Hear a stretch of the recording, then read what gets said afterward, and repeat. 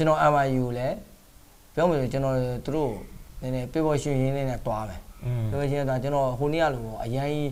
ကျွန်တော်လိုချင်တဲ့ဟာယူအရန်ကြီးဆွဲတင်တာကြာပင်ပန်းတယ်ပါသေးလားသူတို့တော့လည်းပင်ပန်းတယ်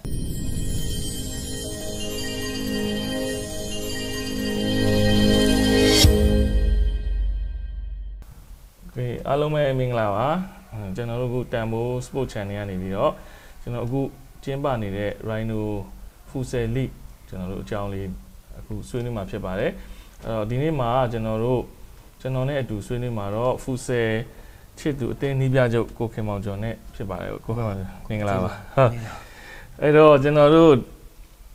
ပွဲစဉ်3ကတော့အကိုတို့ MIU နဲ့တွေ့မှာပေါ့နော်ဟုတ်ကဲ့ MIU နဲ့မတွေ့ခင်မှာကျွန်တော်တို့ပွဲစဉ်နှစ်မှာကန်ခဲ့တဲ့ VUC နဲ့ပွဲကျွန်တော်တို့လည်းကွင်းနဲ့လာခဲ့အဲ့မှာဟိုကျွန်တော်လည်းကြည့်ရပါဘောနော်ဟို အမြင်မှာတော့ဗျာကစားကွက်တွေကကျွန်တော်အမြင်ပေါ့နော်ဒါကျွန်တော်တူဦးတဲ့အမြင်မှာတော်တော်ကောင်းကြပါနှစ်သင်းလုံးဒါပေမဲ့ကျွန်တော်မြင်တာလေးကတော့ body လေးတွေနည်းနည်းကွာတယ်လို့တော့ကျွန်တော်မြင်တယ်နောက်တခြားကတော့အခုနီးပြချုပ်တယောက်အနေနဲ့အခုဒီကစားကွက်နဲ့ပတ်သက်ပြီးတော့အခုတစ်ချက်လောက်နည်းနည်းလေးပြန်ပြီးတော့သုံးသပ်ပေးပါအောင်ကျွန်တော်အအရင်ဆုံးကျွန်တော်ပြောချင်တာကျွန်တော် BUC နိုင်သွားတဲ့အတွက်သူ့ကိုတော့ကျွန်တော် congratulation လုပ်ပါတယ် ဟုတ်ပါတယ်ဟုတ် ဒါပေမဲ့ကျွန်တော်တို့ကတော့ကိုယ်ရဲ့အတိကတော့အတွေ့အကြုံပေါ့ อืม experience ပေါ့အတွေ့အကြုံအတွေ့အကြုံကသူတို့ကအရန်များတယ်ကသူတို့ဒီမှာနိုင်ငံတကာပွဲသွားတဲ့လူတွေပေါ့အဲများတယ်ကကျွန်တော်တို့မှじゃအဲ့လိုမျိုး player မရှိဘူးမရှိတော့ကျွန်တော်ဒီပွဲကိုကျွန်တော်ဒီပွဲကိုချင်းကပ်လိုက်တဲ့အချိန်မှာတော့ကျွန်တော်ကဗျာကျွန်တော်ကလေးတွေမှာရှိတဲ့ရာဂိုင်လုံးထက်ပိုပြီးကျွန်တော်လိုချင်တာပေါ့နော် ဒါဟုတ်ဒါဟုတ် လိုချင်တဲ့အတွက်လည်းဒီလိုပေါ့ကျွန်တော်တို့က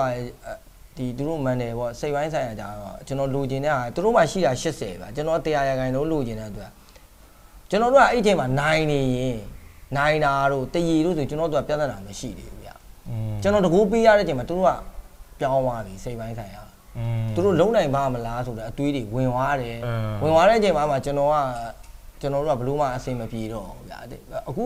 ကစားတယ်ဗျာတောက်လျှောက်မကွာဘူးကိုရကျွန်တော်တို့လည်း chance ရတယ် အဲအဲ့လိုမျိုးပဲသူတို့လည်း chance ရသူတို့လည်းကျွန်တော်တို့ထင်းထင်းထင်းကစားတာပဲဟုတ်ဟုတ်ကဲ့သူတို့နီးပြဆိုလည်းကျွန်တော်တို့ရဲ့ senior အကူပါပဲဒါပေမဲ့ကျွန်တော်တို့ရဲ့ဒီလိုပဲတင်တန်းတွေပါလည်းတူတူတက်တယ်သူတို့လည်းတည်တယ်ပါသူတို့လည်းကျွန်တော်ကျွန်တော်တို့လည်းသူတို့လေးလေးသားချင်းကတ်တာဆိုသူတို့တည်အဲ့တော့နည်းနည်းတော့သူတို့လည်း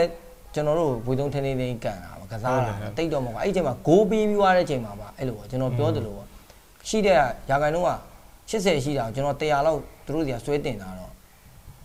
ဒူးတစ်ပြကတော့ဟိုဒါပြအဲ့စိတ်ပိုင်းဆိုင်ရာပေါ့อืมဟုတ်ပထမပိုင်းကိုနော်ပြီးကန်ဒီလေး80စက္ကန့်မှာအသွင်းခံလိုက်ရတာဟိုကျွန်တော်တော့မှကြည့်နေဟာဒီပထမပိုင်းတော့ငါတော့ဇီးဇီးပဲသွားမှာပဲလို့တွက်လိုက်တာပါပြီးကန်ဒီလေးမှာထည့်ခံလိုက်တော့အရန်ကိုပရိသတ်တယောက်အနေနဲ့တော့မှကျွန်တော်ဟာကနေဖြစ်သွားဟာဒုတိယပိုင်းစမှာလဲပွဲစတာတိတ်မကြသေးဘူးမှာထပ်ထည့်ခံလိုက်ရတဲ့ခါကျတော့နော်ကစားသမားတွေကအရန်ကိုဟိုသူတို့စိတ်တွေမှာတခုခုဖိအားတွေဖြစ်သွားမှထင်တယ်ဟုတ်။ နောက်တစ်ဖက်သင်းကလည်းကို तू ကကျွန်တော်အမြင်ပြောတာပေါ့ तू ကနိုင်ငံတကာပွဲတွေလည်းကစားဘူးတော့သူတို့အတွေ့အကြုံတွေတော်တော်ကောင်းတယ်နော်ကောက်ကောက်အဲ့မှာသူတို့လှုပ်သွားတာလေးတွေမှာဟုတ်ကဲ့အဲ့ကဖက်နဲ့ပြစ်ထည့်တာကိုဘာလို့အဲ့ဒီကွက်တွေကဘာဘာလို့လဲနည်းနည်းလားပြောမယ်ဆိုရင်ဗျာဒါဟုတ်သူတို့အတွေ့အကြုံပေါ့ကျွန်တော်တို့ပြောသလိုပါဗျာဟိုဘယ်အရာမဆိုပေါ့ဘယ်ဒီအကစားမှမဟုတ်ဘူးတခြားလုံးမှာဒါ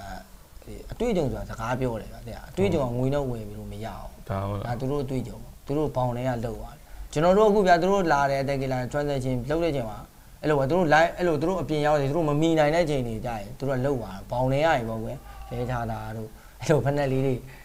ပြောမယ်ဗျာအပြင်မှာကျွတ်တယ်အတဲကိုပြစ်ထည့်လိုက်တယ်ဗျာဒါဒါရက်ပေးရတယ်လေဒါဘောင်နဲ့သူတို့ဒါသူတို့အတွေ့အကြုံတွေပေါ့ဒါပေါ့နော်ကျွန်တော်တို့ကလေးတွေကဒါတွေတော့မသိဘူးပွဲစဉ်ကိုဒလေးဖြစ်အောင်လုပ်လိုက်လေးဖြစ်အောင်လုပ်တာပေါ့အဲ့လိုမျိုးတွေကအတွေ့အကြုံပေါ့ဒါอืကတော့มအဲ့တော့အဲ့တော့နောက်တစ်ခုကတော့ကျွန်တော်ဒီပွဲနဲ့ပတ်သက်ပြီးတော့ဗောနော် ဒီတွေ့တာကဒီကစားကွက်ကအဲ့မှာလေဒုတိယပိုင်းမှာကိုတို့ဒီဂိုးသမားဟိုတိုက်စစ်ပါ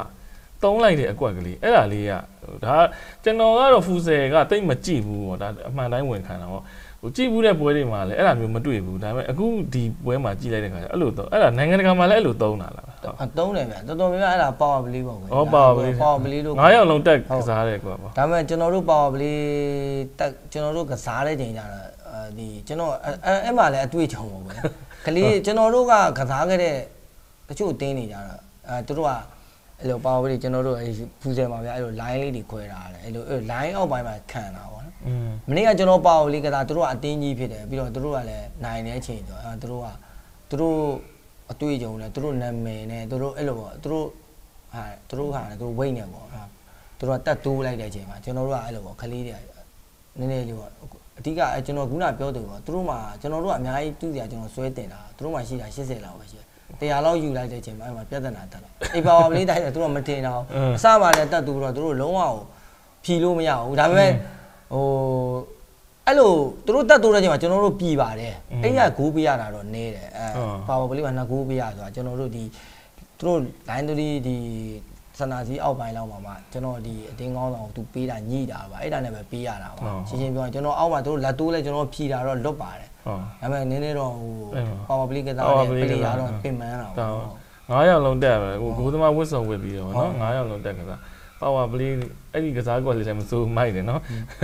အဲ့တော့အုပ်ပြီးအဲ့ဒါဒါတော့ကျွန်တော်ပြီးခဲ့တဲ့ဟာလေးပေါ့ဟိုကိုအားနေချက်လေးတွေအားသာချက်လေးတွေဒါကတော့နည်းနည်းပြောပြရင်းနဲ့အခုပွဲစဉ်3က MIU MIU ကလည်းသူကနှစ်ပွဲ6မှတ်ရထားတယ်6မှတ်ရထားပေမဲ့ဒါကျွန်တော်ကျွန်တော်တို့ကြည့်ခဲ့တာဆိုရင်တော့ဟိုသူကတော့ twin ကိုတော့တိတ်မရှိဘူးတိတ်မများဘူးပထမပွဲမှာဆိုရင် 2C နဲ့ 2C နဲ့ AKG ကိုနိုင်ထားပါတော့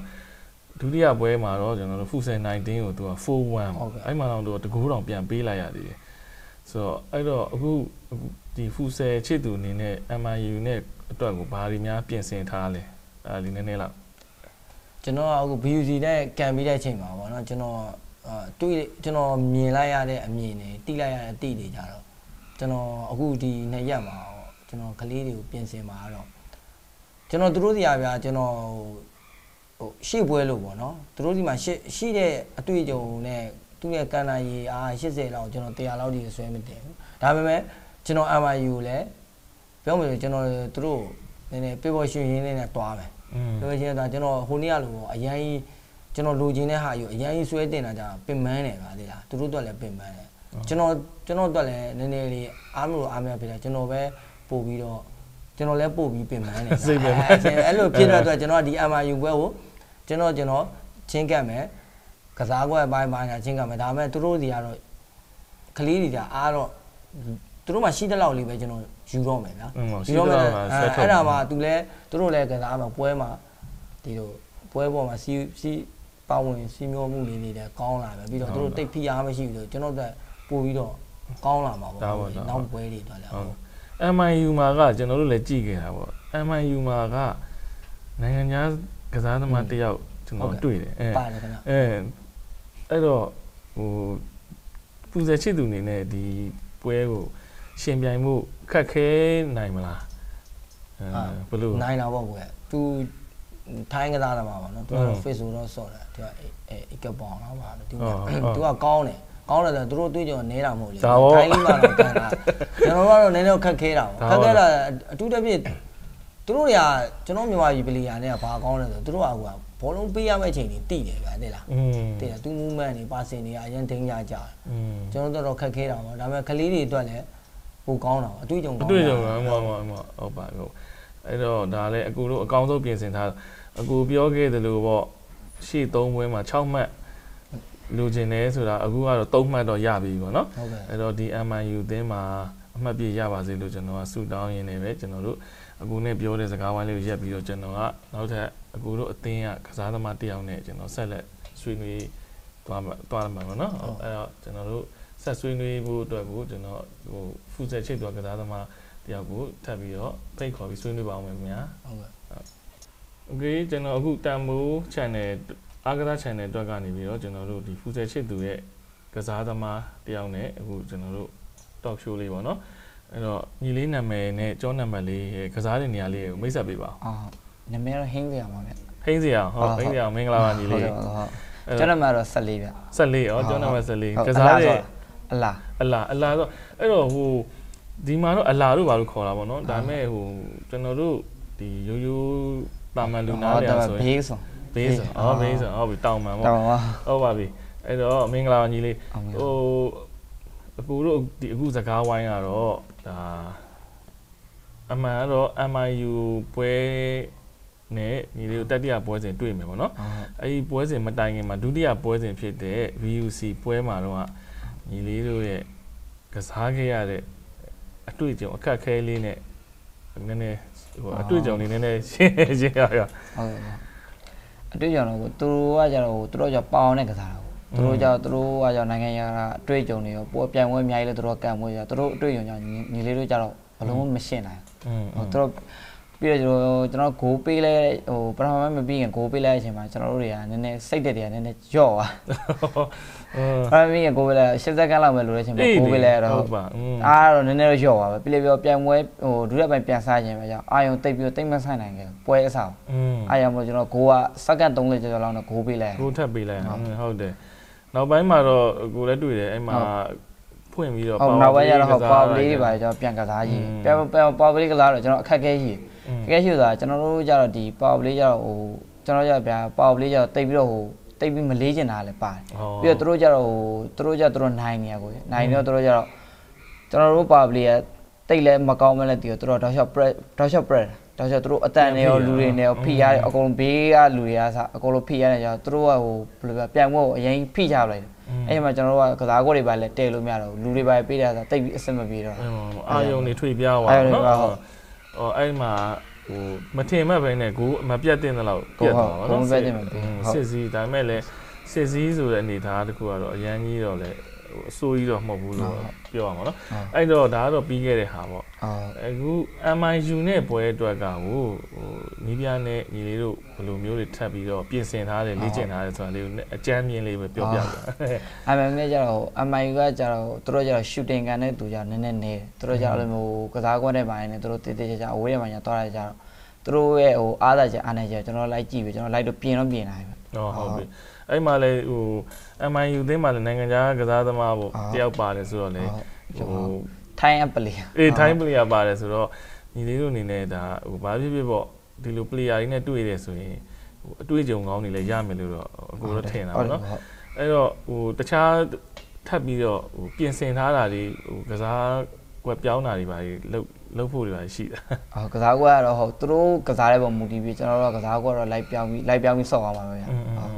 ဟုတ်ပါပြီအဲ့တော့အခုအကိုနဲ့ဒီတန်ဖိုး channel မှာလာပြီးတော့ ဆွေးနွေးပေးတဲ့အတွက်ညီလေးကိုကျေးဇူးတင်ပါတယ်အဲအခုကျွန်တော်တို့ဒီချိန်ဒီ program လေးကိုဒီမှာပဲရန်နာပြီးတော့နောက်နေ့တွေမှာလည်းဒီဖူဇက်ချစ်သူ